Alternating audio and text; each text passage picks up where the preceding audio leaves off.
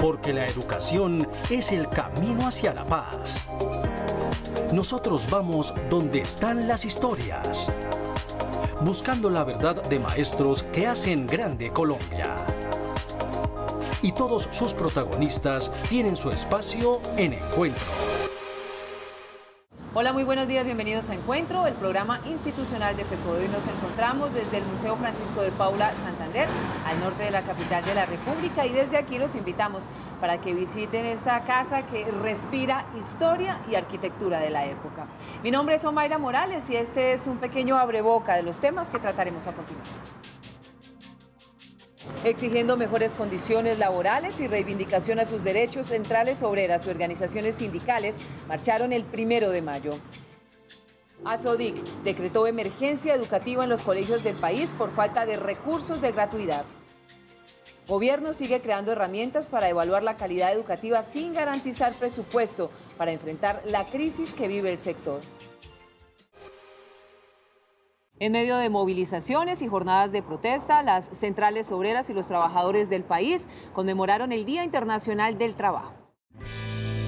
En la marcha del Día del Trabajo hubo una multitudinaria participación, donde con arengas y protestas mostraron varios gremios sindicales y obreras su inconformismo por la precaria situación laboral.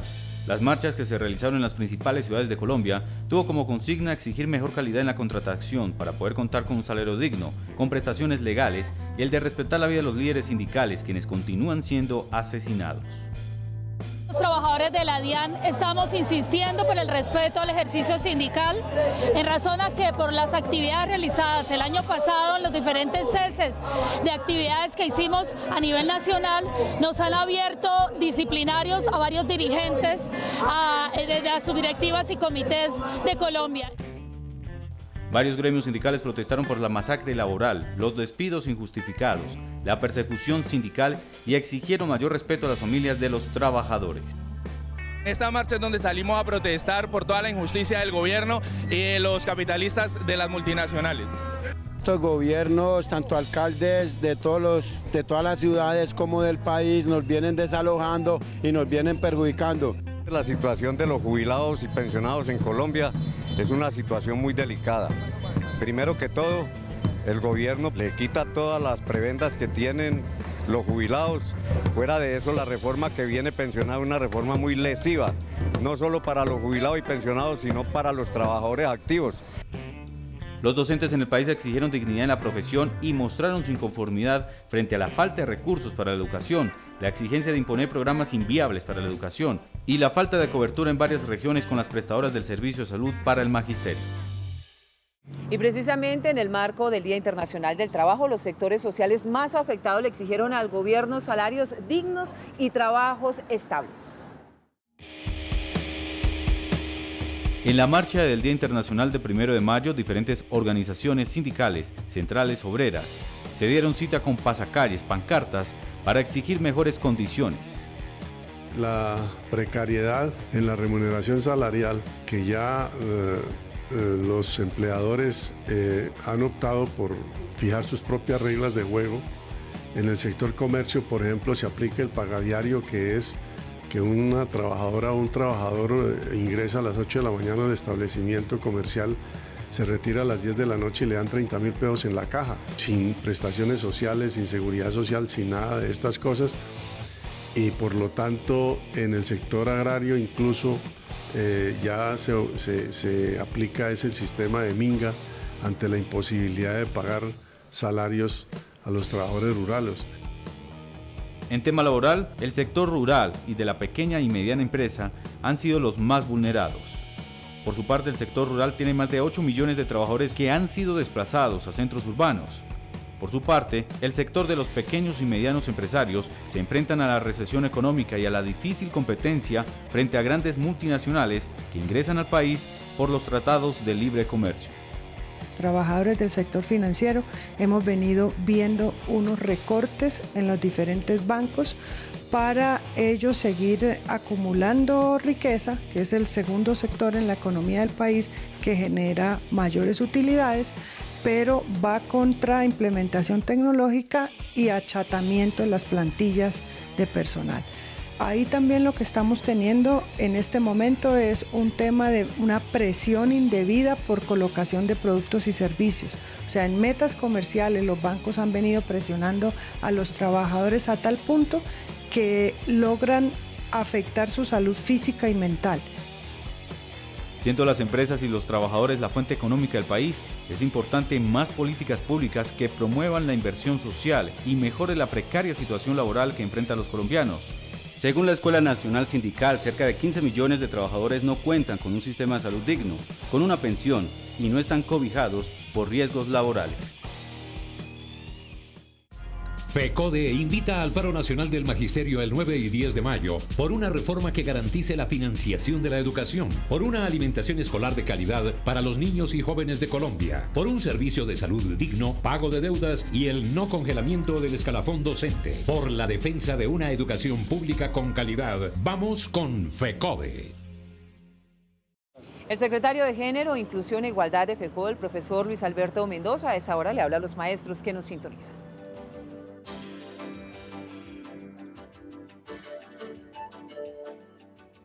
Muy buenos días para todos los maestros y maestras de Colombia. Estamos en el mes de mayo, el mes de las madres, y estamos invitándolos también para que los días 9 y 10 del presente mes salgamos todos a la calle como siempre lo hemos hecho los maestros cuando de reclamar nuestros derechos se trata, para el paro de 48 horas que aprobó nuestra Junta Nacional y el Comité Ejecutivo de FECODE. Este es un paro por los demás justo, porque no solamente estamos peleando por derechos de los maestros, sino que estamos reclamándole al gobierno la adecuada financiación para la educación pública colombiana, que se haga la reforma constitucional que aprobamos en el paro pasado, porque una vez más este gobierno de Santos, con el sol a las espaldas, pretende eh, birlarle a la educación pública en el país. En segundo lugar, para reclamar el derecho a la salud de todo el magisterio colombiano y de sus beneficiarios, porque hoy desde el gobierno nacional, pasando por la ministra, la fiduprevisora y los prestadores del servicio, vienen negando este derecho a una salud digna de los maestros colombianos. En tercer lugar, decirle a toda la comunidad que de manera conjunta vamos a pelearle al gobierno una jornada única que permita que nuestros hijos puedan estar con todas las comodidades del caso y no como la quiere imponer, violentando la autonomía escolar y sin recursos para esta jornada única. Esto hace que nuestros niños hoy queden expuestos a padecer de hambre y de sed, porque hoy estos dos servicios no los hay casi ninguna de las instituciones del país que se han acudido a la jornada única. No hay alimentación, no hay transporte escolar y por lo tanto rechazamos esta imposición y llamamos a todo el magisterio del país, a nuestros estudiantes, a los padres de familia, a que este paro de 48 horas de los días 9 y 10 estemos como un solo haz de corazones pidiéndole y exigiéndole al gobierno que haya recursos suficientes para la educación pública en el país y el gobierno deje de estar incumpliéndole los acuerdos a FECODE.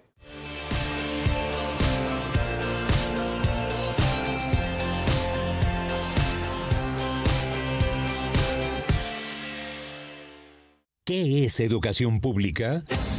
La educación pública es un derecho fundamental y un bien común y es responsabilidad del Estado garantizar igualdad de oportunidades a sus ciudadanos. FECODE defiende una educación pública gratuita y financiada por el Estado y exige el freno de todas las formas de privatización y comercialización de este derecho fundamental. La educación no es una mercancía, es un derecho. La ministra de Educación insiste en que no hay argumentos que soporten un paro de 48 horas del magisterio colombiano el próximo 9 y 10 de mayo. Señora ministra, la situación que se vive en la región es porque no ha llegado el dinero por concepto de gratuidad es grave. ASODIC ha manifestado que se declara a nivel nacional una emergencia educativa. Las instituciones públicas en Colombia, después de cuatro meses de haber iniciado el calendario escolar, aún no reciben los dineros por concepto de gratuidad. El Ministerio de Educación expidió la resolución 6890, con la que se reduce en cerca del 20% el presupuesto, lo que genera traumas en el funcionamiento administrativo y pedagógico de las escuelas. No consideramos esto afortunado, es una perversa actitud que tenemos nosotros, porque repetimos, se atenta con el la educación. Parece que volviéramos a los tiempos de una educación pobre para pobres. ¿Qué significa ese recorte? En preescolar en el 2017 se recibían entre lo urbano y lo rural cerca de 205 mil millones de pesos. En el 2018 se bajó a 169 mil millones, un recorte de 15 mil millones de pesos. En la básica en el 2017 194 mil millones y en el 2018 149 mil millones, un desfase de 43 mil millones de pesos. Y en la media 272 mil millones en el 2017 y en el 2018 225 mil millones. Así pues, de 561 mil millones de pesos que se recibían en el 2017, el presupuesto se redujo a 540 mil millones, un recorte de 18.9% que deja a portas de declarar una emergencia educativa en el país. En sentido, nosotros, ¿qué estamos solicitando al Ministerio de Educación Nacional? Pues que gire este 20% más que dejó de girar con base en esa resolución, que conserva al menos los topes, repetimos, del año inmediatamente anterior, aunque eran insuficientes, pero se funcionaba. Pero con esta rebaja es bastante preocupante, va a ser de un impacto negativo para el día a día institucional, tanto académico como administrativo. Al mejor estilo, la ministra de Educación dijo que a finales de abril los recursos serían girados a las instituciones educativas, que después de cuatro meses funcionan sí, pero por la voluntad de los docentes, rectores y directivos, oficio que no les corresponde. La ministra dijo que la ley de garantías afectó el envío a tiempo, grave error, porque cómo no se garantizan los recursos a sabiendas que el país está en medio de una contienda electoral y que la educación no puede parar. Es un derecho, señora ministra. Vuelve y juega. Al maestro se le exige que no pare, que resuelva por el camino lo que le corresponde al gobierno, pero el ministerio se incumple una y otra vez. La creación de herramientas para evaluar la calidad de la educación en el país es otra estrategia que utiliza el gobierno nacional para invisibilizar la autonomía escolar e imponer los resultados de pruebas externas. El índice sintético de calidad educativa es la herramienta para hacerle el seguimiento al establecimiento educativo. Según el gobierno es la forma objetiva para identificar las fortalezas y debilidades de cada institución. Los componentes que se deben tener en cuenta son los siguientes. El desempeño. Resultados pruebas saber. Ahí se comparan nuestros resultados con los de otros establecimientos del país. Progreso. Comparación prueba saber con los años anteriores. Se analiza cómo estamos con el año anterior, si las deficiencias o cosas para mejorar se lograron. En eficiencia, se estudia la tasa de aprobación anual, promoción automática. Ahí se observa cuántos estudiantes aprueban el año escolar. En ambiente escolar, caracterización de ambiente del desarrollo de las clases recibidas por los estudiantes. Una encuesta de factores asociados se inserta en la misma prueba saber. Para este componente se analiza cómo está el ambiente escolar en nuestras aulas de clase. Se le hace un seguimiento en el aprendizaje. Sin embargo, con estos componentes del índice sintético de calidad educativa ICE, no brinda un mecanismo para mejorar la educación pública. En el desempeño, establece escalas de clasificación desiguales que desconocen contextos socioeconómicos, institucionales y culturales. Determinan las asignaciones presupuestales. Progreso en los últimos años niega el aspecto formativo de la educación, priorizando lo instruccional. Desconoce los procesos integrales, los contextos y la diversidad cultural. En eficiencia, las instituciones que tiendan a una tasa de cero o cercana a ella son consideradas excelentes. En ambiente escolar, condiciones apropiadas para el aprendizaje sin valorar los contextos sociales y culturales, la disciplina, el uso efectivo del tiempo y la convivencia, reducidas a una valoración cuantitativa. Con esta herramienta el gobierno quiere evadir su responsabilidad en la calidad, individualizando las responsabilidades de la educación en las instituciones y docentes. El ICE impone áreas de la prueba saber como las únicas importantes para el currículo escolar, relegando la formación en áreas como humanidades, artes, deportes, que son fundamentales para el desarrollo educativo del estudiante. Y continúa el gobierno pretendiendo mejorar la educación pública y brindar recursos importantes para este sector que enfrenta una crisis presupuestal. Al día E, convocado por el Ministerio de Educación Nacional, la Federación Colombiana de los Trabajadores de la Educación llama al magisterio a una desobediencia civil activa, a realizar un sinnúmero de actividades donde se evidencie y se socialice con la comunidad la crisis de la educación que se está viviendo en todo el territorio colombiano. FECODE orientó al magisterio a desobedecer el día E en las instalaciones educativas del país. El magisterio se opone a esta jornada que atenta a la educación pública y que le entrega toda la responsabilidad de la excelencia educativa del país a los docentes sin recursos económicos. Los docentes se oponen a esta jornada que atenta contra la educación pública y que le entrega toda la responsabilidad de la excelencia educativa del país a los docentes sin recursos económicos sin un apropiado entorno social y sin programas de políticas educativas que lleven a brindar la educación pública de calidad que merecemos. El día de, mal llamado Día de la Excelencia Educativa o la Calidad Educativa, es una imposición del Ministerio al Magisterio Nacional. Se irrespeta la autonomía y la voz de los docentes. Ningún proyecto, ninguna política sin la voz de los docentes de las comunidades educativas. El día instrumentaliza a los docentes, nos pone a pensar en términos cuantitativos y el proceso de enseñanza-aprendizaje es mucho más complejo que una cifra. El día E es un dispositivo que está acompañado de los derechos básicos de aprendizaje, mallas curriculares, estándares que nos ponen a pensar a los docentes en una sola línea. Los docentes somos pluralistas, nuestra fortaleza es la pedagogía. Uno de los cuestionados componentes dentro del ICE es la del pago por mérito que tendría el docente en una remuneración salarial que solo beneficiarían a ciertos docentes y establecimientos, generando una tremenda discriminación sin valorar la formación integral que se realiza en la institución.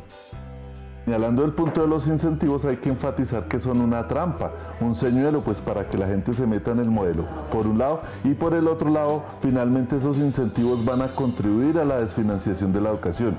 Todo el modelo curricular del ICSE, la evaluación y la medición están sometidas a la política de ajuste fiscal, están enmarcadas en las políticas de desfinanciación de la educación. No se han hecho la pregunta crucial, ¿cómo alcanzar la excelencia o la calidad en educación sin financiación educativa, cómo alcanzar eh, la calidad o la excelencia sin condiciones básicas materiales para que los profesores puedan trabajar y los estudiantes puedan estudiar. FECODE promueve la desobediencia para el día E realizando talleres alternativos. De igual manera, mítines en las instituciones educativas para continuar denunciando la política educativa que está degradando la profesión docente y abriendo aún más la brecha social en la educación pública. FECODE invita al paro nacional del magisterio el 9 y 10 de mayo por una reforma que garantice la financiación de la educación, por una alimentación escolar de calidad para los niños y jóvenes de Colombia, por un servicio de salud digno, pago de deudas y el no congelamiento del escalafón docente, por la defensa de una educación pública con calidad. Vamos con FECODE. Información de interés para el magisterio colombiano en la voz del profesor Pedro Hernán Osorio, secretario de Cultura, Recreación y Deporte de FECODE.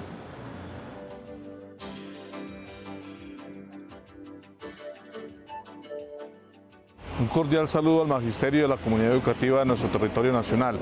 El próximo miércoles y jueves, 9 y 10 de mayo, estamos convocando de parte de FECODE a un paro nacional de 48 horas.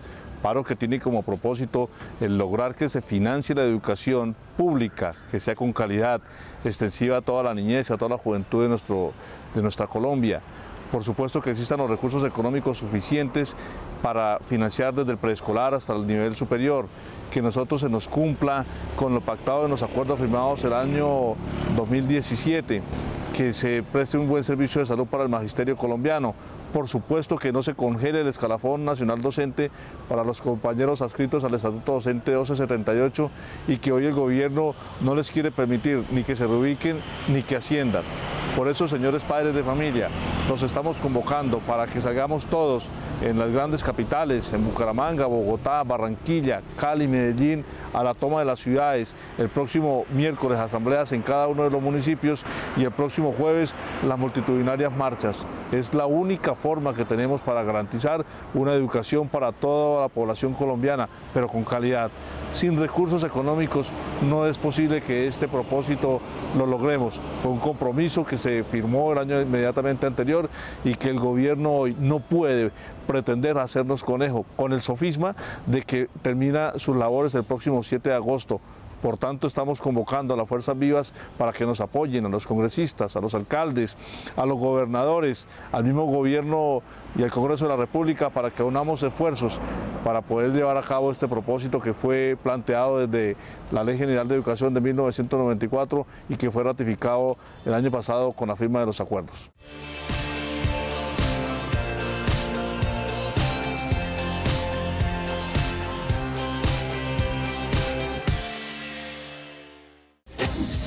La privatización de la educación pública se disfraza de diferentes formas. Es responsabilidad del gobierno garantizar un acceso equitativo e incluyente para todos los niños, niñas y jóvenes a una educación pública gratuita y financiada por el Estado. FECODE rechaza la comercialización y privatización de la educación pública en el país, porque la educación no es una mercancía, es un derecho.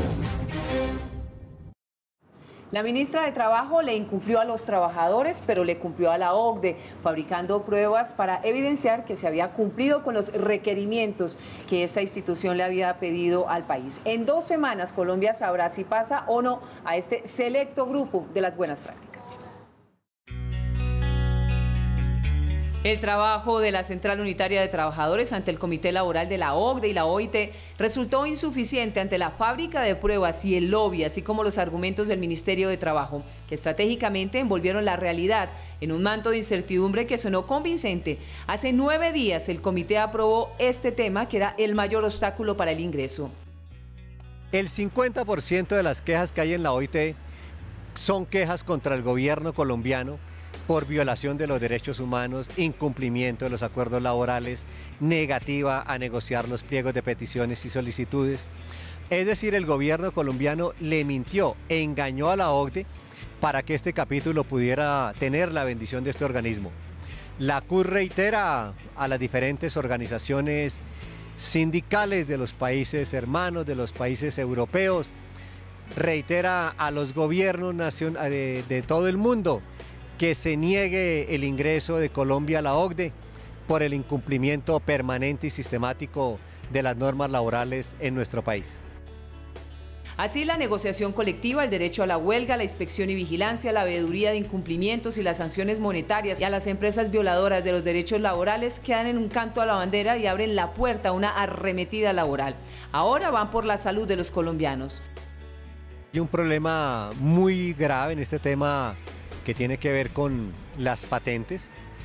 Eh, por supuesto que la CUT defiende el uso de los genéricos, defiende el uso de las patentes que ya se han caducado, que pasen a convertirse en genéricos, que el gobierno pueda regular autónomamente los precios de los medicamentos, que estos dejen de ser un monopolio de las empresas farmacéuticas.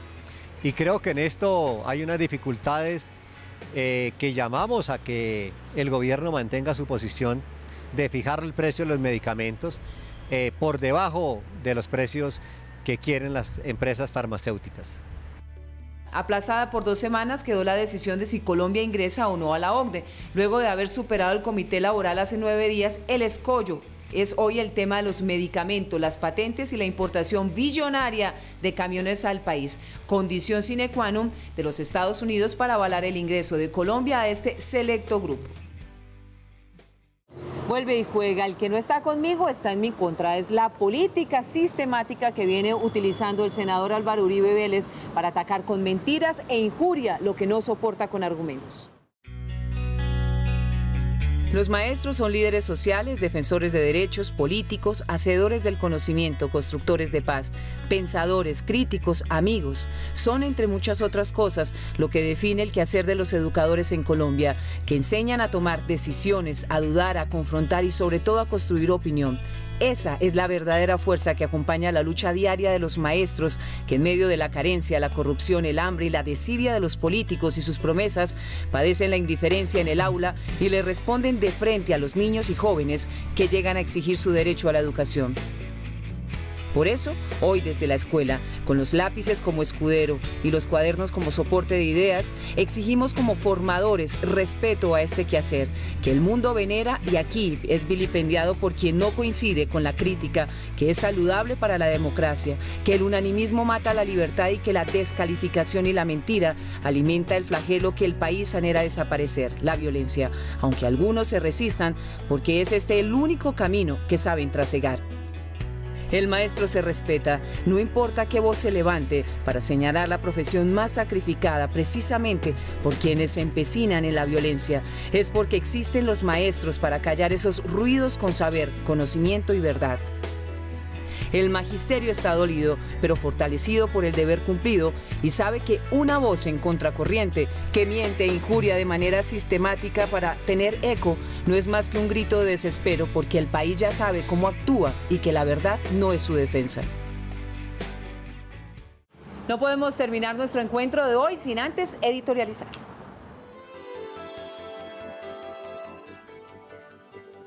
Especial saludo a todos los compañeros maestros y maestras de Colombia. Queremos expresar nuestros agradecimientos a la sociedad colombiana por la forma como brindaron su solidaridad, como expresaron sus manifestaciones de aprecio a los maestros y maestras de Colombia, por el trabajo que desarrollamos en este país ante los insultos que fuimos producto la semana pasada. Gracias, muchas gracias a la sociedad colombiana. Queremos reconocer que el trabajo que desarrollamos lo desarrollamos con amor, lo desarrollamos con encanto, pero también lo desarrollamos sobre todo con profesionalismo. Somos profesionales de la educación y como tal lo que hacemos es construir una nueva sociedad, generar pensamiento, generar libertad, generar democracia desde las escuelas. Por eso queremos finalmente decirles muchas gracias a la sociedad colombiana. Muchas gracias quiere decir que de verdad nos sentimos complacidos en la forma como ustedes han señalado su solidaridad con nosotros. Mantenemos desde luego eh, varias eh, sugerencias con relación a lo que vamos a hacer la semana entrante, lo que vamos a hacer el 9 y el 10 en el paro de 48 horas. En primer lugar, el primer día vamos a hacer actos culturales, asambleas generales informativas manifestando los incumplimientos del gobierno y las razones por las cuales nosotros vamos a un conflicto de carácter laboral. Fue el gobierno nacional el que nos ha llevado a esta situación y fundamentalmente el Ministerio de Educación que no ha dado cumplimiento a lo pactado y a lo, acordado, que es ley entre las partes, que es ley para el gobierno y es ley para los maestros. Los maestros cumplimos en el mes de diciembre, fuimos a las aulas de clase y recuperamos el tiempo y los contenidos. De igual manera persisten los problemas de la salud en todo el país. Eso afecta la vida de los maestros y la vida de nuestros familiares. Pero también tenemos la dificultad con los compañeros docentes que tiene que ver con la tercera cohorte, los maestros del 1278. El gobierno no la ha convocado y el hecho de que no la convoque significa que los efectos fiscales van corriendo y desde luego irán a ir hasta el año 2020. La ministra tiene la palabra, la ministra sí se ha reunido con nosotros, pero no para solucionar las situaciones. De igual manera, persisten una serie de deudas Persisten las situaciones como lo que tiene que ver con los tres grados de preescolar, con el estatuto único de la provisión. El gobierno viene incumpliendo y por eso vamos al paro nacional. Recuerden nuestra cita el próximo sábado a las 7 de la mañana por Teleantioquia, aquí en Encuentro, el programa institucional de la Federación Colombiana de los Trabajadores de la Educación. Espacio informativo que también pueden ubicar en el canal de YouTube de la Federación. La invitación la de siempre para que visiten nuestra página web www.fecode.edu.co, estén pendientes de las redes sociales, pueden interactuar si lo desean con la oficina de prensa a través del WhatsApp 310-673-9655. Gracias por su compañía, nos vemos en ocho días, hasta luego.